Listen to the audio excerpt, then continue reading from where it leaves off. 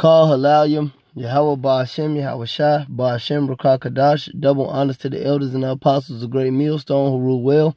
Shalom and salutation to the hopeful elect, the Akim out there spreading the gospel throughout the four corners of the earth in sincerity and truth, presenting their body as a living sacrifice. All right. Shalom to the few sisters that do listen to us as well. This is the brother Yarmaya from the Great Millstone Chicago camp, basically coming with another lesson, um, a short, brief exhortation. You know, basically just a mindset. You know, going in on the mindset of uh, this thing of ours, as the Apostle Elder Gabar says from time to time. You know, the uh, the La Costa Nostra, which is the truth. All right, which is the the the, the lifestyle of a soldier.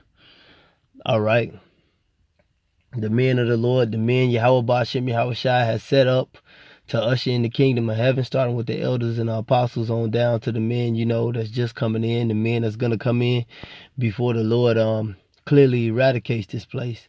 And um we see that all over with the like like hey, the year 2019, the year of the Charagma, all right, the year that chip okay, the RFID chip, which is one of the last major prophecies to happen before the nuclear destruction, which is spoken about in the Holy Bible.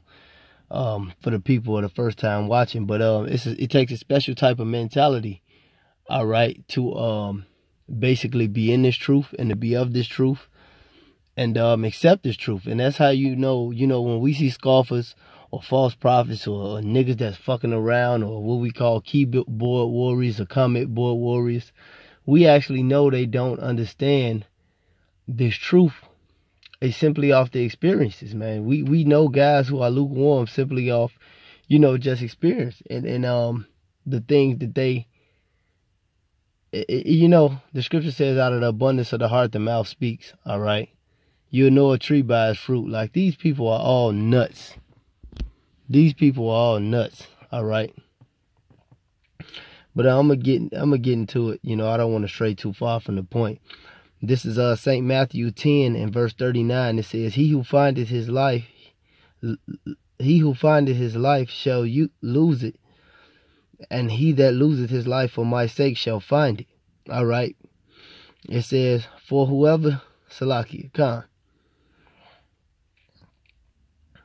And this is uh St. Matthew says, and again in the 16th chapter, St. Matthew 16 and 25, the Lord reiterated, he said, For whosoever shall save his life shall lose it, and whosoever shall lose his life for my sake shall find it. All right. And we found life, all right, when we picked up this plow when the Lord gave us the unction, all right, when the Lord put the Spirit on us to come out here and do this work, to understand what the law, statutes, and commandments are, to understand that the so-called white man, woman, and child is the devil, all right, to be snatched from the um the the elements of this world, all right, the darkness. The Lord, you know, we found life through that, and we grow and find more life, increasing more and more, all right, as we grow in this truth and cast off this darkness. All right. And we forsook the world. All right. We forsook the world and being on this warpath, this spiritual warpath, we're going to lose things. All right. And I always go into this from time to time. We're going to lose uh, job opportunities, life opportunities. All right. We're going to lose loved ones on the way. All right. People we love are, are going to leave us. All right. People we like are going to leave us. They're going to be people we never even get to know because of this path on this side, because of this path that we have um, been entrusted with, so to speak.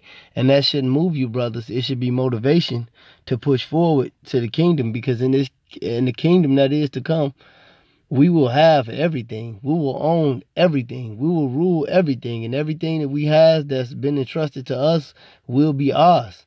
Whether it be women, whether it be lands, whether it be golds, or, uh, fashion, whatever it is. All right, this kingdom comes with an abundance of things. That's why the scripture says He is what He's a rewarder to those that diligently seek Him. But far us, this side, hey, hey, hey, we fucked on this side. All right, the Lord, hey, we as the prophets, all right, or as the world views it, all right, we fucked. Really, we're blessed. But you know, it's not gonna be a lot to get or to gain on this side. So basically, you should basically just be on a war path, man. A, a, a fervent path. You know, losing your life. Basically, that's why I brought out those two scriptures. Losing your life for Yahweh Bashem Yahweh. All right, and, and for truth's sake. All right, the truth is not a, a, a easy walk. It's not a breezy walk. All right, it's a, it's a dangerous walk. All right, and it's a and it's a road that you have to walk down cautiously. This is Acts 15 and 26. It says, um, matter of fact, this is Acts 15 and 25. It said, It seemed good unto us, being assembled with one accord, to send chosen men unto you with our beloved Barnabas and Paul. Now he said chosen men. The Lord just don't pick any Joe Smo to go do his work. All right. Even when Esau, the so-called white man, hires you, he gives you an interview. All right. He he looks at your credentials and he searches you. I mean, but Yahweh Bashem Yahweh he knows us anyway. That's why um he says in Jeremiah the 17th chapter, I Yahweh, I try the hard, I search the reins. He he he already knows who we are, whether it be a wicked nigga, a good a good dude, you know, to, to choose for this truth or whoever. Whatever he want to use you for, that's what he use you for. But he said he sent chosen men.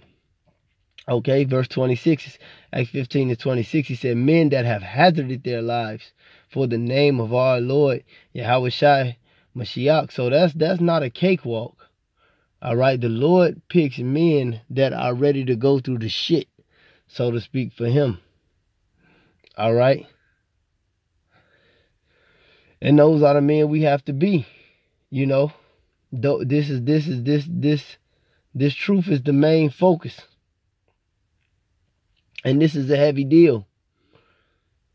All right, we're we're doing something that's basically um never been done before, so to speak. Not saying that the prophets never you know, went out there or nothing like that because the prophets have been out here through the generations, you know, and Lord willing, we are those men in the reincarnation, but we're the ones that's to be here at the end. This place has no longer, this place is so wicked, man, like the brother from um, Dallas, the brother Yadi had mentioned, man, this, this place is so wicked, the Lord himself has to come back and, and destroy it, man. And we're to be the man, all right, to usher that in the 140, the 144,000. All right. And, and, and, and doing that path is, is going to be, this is the greatest reward to ever be won, the kingdom of heaven. So you have to make the greatest sacrifice to ever be sacrificed. All right. This is um Timothy 2. I'm to read Timothy 2 and 2.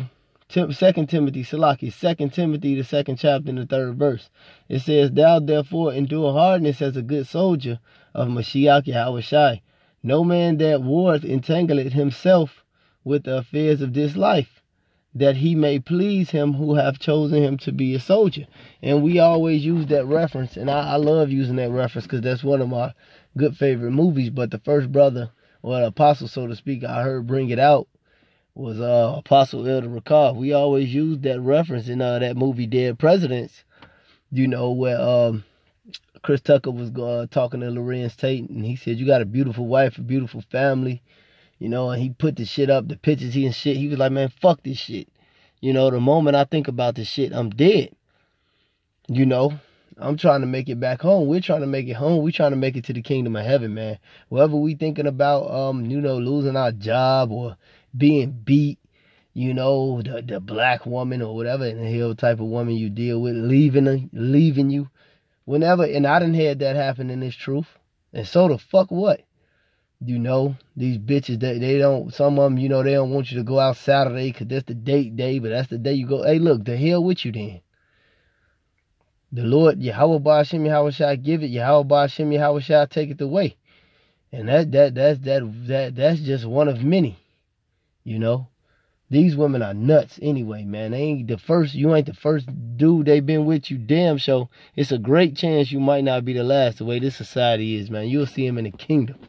I'm just using that because, you know, that's the most common, man. Jake break with them damn when it comes to them women, man. And I I know how it is, you know. But the thing about it is this. I'm gonna read the verse, uh, verse four over again. It said, "No man that would entangling himself with the affairs of this life, that he may please him who chosen, now go that word again, him to be, who have chosen him to be a soldier. All right, Yahweh Ba'ashem Yahweh Shah put us in this army. All right, he put us in this army. And he said, if you love him, do what? Feed his sheep. So no matter what, we got to get back home. We got to get to the kingdom of heaven. And we got to feed the sheep, the flock of Yahweh Ba'ashem Yahweh you know. And that's what our elders and our apostles, starting with the elder apostle Tahar, has been doing for many years and has been continued to do because this message is real. This truth is real. The whole world knows the truth now, man. And Yahweh Ba'ashem Yahweh Shai is on his way back, whether you believe that or not. But like the elder Yashawamba said, you know, this kingdom coming, you know, it started with it starts in the mind of the elect. And this this everything that's happening is real. You know, a lot of them Jakes didn't believe Noah when he said a lot of them they didn't believe Noah when he said the flood was coming. They didn't believe Moses when he told them they was gonna go into slavery. Well, guess what, nigga? It happened. The Most High is about to destroy this place. It's gonna happen, man. And we're gonna be the cream of the crop, the the, the top tier Israelites, so to speak, in the kingdom of heaven, man. And we're gonna make it out of this destruction. Someone has to make it out of this destruction, man. And someone has to lead men, and someone has to, you know, usher in this kingdom of heaven, man. Like I always say, man. And we've been entrusted with the skills to do that so, hey, man, with all you're getting, get understanding. And whatever, uh, like the scripture say, I'm paraphrasing, whatever thou findest thy hand to do, you know, do it with all thy might. The scripture says, whatever thou findest thy hand to do, do it with all thy might. It ain't no half stepping in this truth, man. So, you know, gird up, mount up, and do what the hell we got to do, man, so we can get the fuck up out of here. But, um, you know, I just wanted to park and break a little bread with, with the flock a little bit, man, through the World Wide Web, through this unicorn all right, and um, basically say some things that was on my mind, on my heart. But with that being said, I hope this was edifying. Call Halab Yahweh Ba'ashem Yahweh Shai Ba'ashem Rakah Kadash.